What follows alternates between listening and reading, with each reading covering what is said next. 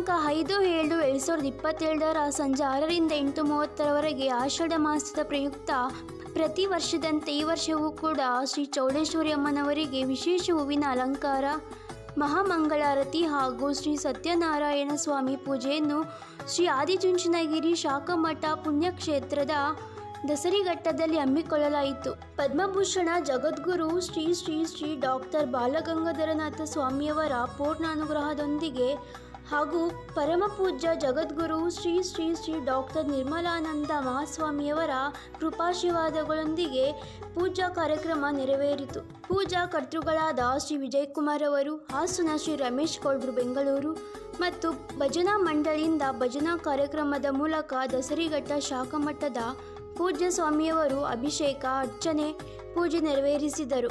ಸಾನ್ನಿಧ್ಯ ಪೂಜಾ ಶ್ರೀ ಶ್ರೀ ಗುಣನಾಥ ಸ್ವಾಮಿಯವರು, ಶೃಂಗೇರಿ ಪೂಜಾ ಶ್ರೀ ಶ್ರೀ ಶುಭನಾಥ ಸ್ವಾಮಿಯವರು, ಕಬಳಿ ಬ್ರಹ್ಮಚಾರಿ ಸತ್ಕೀರ್ತಿನಾಥ್ ಜೆಪಿಜಿ ನಗರ ಹಾಗೂ ದಸರಿಘಟ್ಟ ಗ್ರಾಮಸ್ಥರು ಹಾಗೂ ಭಕ್ತರು ಉಪಸ್ಥಿತಿಯಲ್ಲಿದ್ದರು.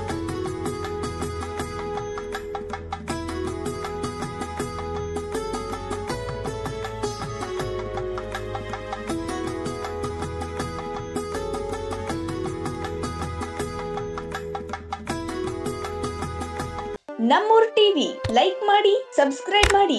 ನೋಟಿಫಿಕೇಶನ್ಗಾಗಿ ಬೆಲ್ ಐಕಾನ್ ಕ್ಲಿಕ್ ಮಾಡಿ.